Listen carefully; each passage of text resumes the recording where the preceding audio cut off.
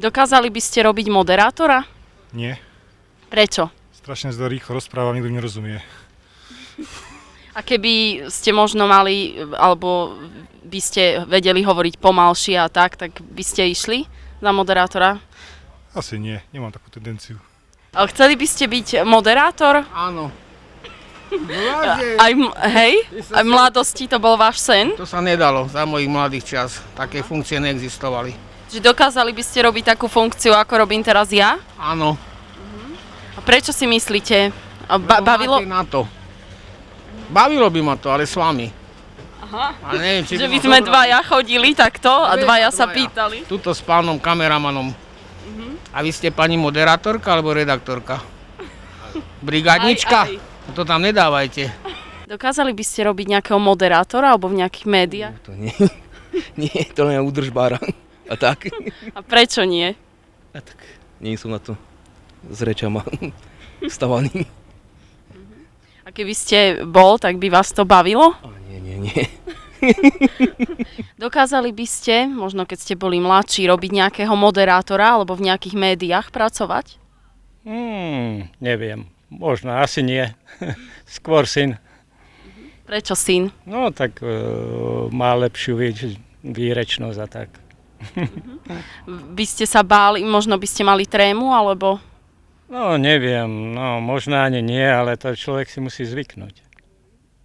A prečo to syn neskúsil, keď je výrečný? Hmm, no, má inakšiu robotu. Dokázali by ste robiť moderátorku alebo v nejakých médiách pracovať? O, bože môj, ja to by som už zvládla. No mala som školu, ale to by som už aj nezvládla. To rok- Za mladý napríklad. no, za mladý, no. Uh, som zostala chytro s m- m- mužom, mala som 17 rokov. No a padli mi de- deti do roka a už som nemohla nič robiť. No ale keby ste napríklad tie deti tak skoro nemali, tak by ste dokázali robiť niečo takéto? Áno, dokázala. Ja som bola, robila som aj v pekárni, som robila v hliníku, tam som robila tiež a v závode som robila v hliníku. A chodiť takto a pýtať sa ľudí, ako to robím ja, by ste chceli? Ach, V tom veku. Ale kde už ja to už nie, to už len mladé je, nie ako som ja. Dokázali by ste robiť moderátora? Asi nie. Asi nie. Možno, ale asi nie. Prečo? No, to... Neviem, no. To by bola asi nejaká tréma, niečo nového pre mňa. Tá.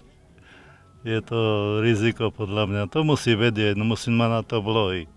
No. Dokázali by ste robiť moderátorku? No neviem. Aj to môže byť. Neviem. No, nerobila som to ešte, no príležitosť nebolo, ale tak nie, že stále, že ako by som bola vedená v evidencii. Že by som... No tak v mladosti by ste dokázali takto chodiť a spovedať ľudí, napríklad pracovať pre panorámu. No tak možno aj. Neviem, to nesľubujem, alebo neodhadujem, ale možno keby bola príležitosť, alebo aj povinnosť, tak možno by som to robila. Dokázali by ste robiť moderátora? Nie, nie, nie. Ja mám niekedy aj problém, keď si ako musím zmeniť e, do telefónu, alebo to takto musím opakovať niekoľkokrát. Ale keď to ako ne, nepotrebujem, tak to jasne vyslovím. A to, a keď to potrebujem, tak sa mi brept. Takže by vás to ne- nebavilo? Ne. Príde vám to ťažká práca? Hm, tak ja neviem. Ja nie som odborník, aby som vám mohol odpovedať na takéto veci. Dokázali by ste robiť moderátorku? Neviem. Neviem. Asi aj neviem. Všetko chce prax. Keď ste boli mladšia napríklad. Tak áno. Áno. A prečo ste teda nešli? E, moja dcera to robí. Ona akože splnila môj sen. Robí v nejakej televízii? Áno. Akej? Markíze. Ako sa tam dostala? No, ona vyštudovala herectvo, takže a tak postupne. Takže takým systémom. Dokázali by ste robiť moderátorku? Asi nie, nemala by som na to nervy. Prečo? Neviem. Príde vám to náročné? Uh, skôr na psychiku by som povedala. Že nedokázali by ste takto chodiť a spovedať ľudí. Nie, nie, nie. Dokázali by ste robiť moderátora? To asi nie. A keď ste boli mladší? Ani vtedy asi nie. Nemali ste k tomu vzťah, alebo si myslíte, že by ste na to nemali? Nemal by som asi na to.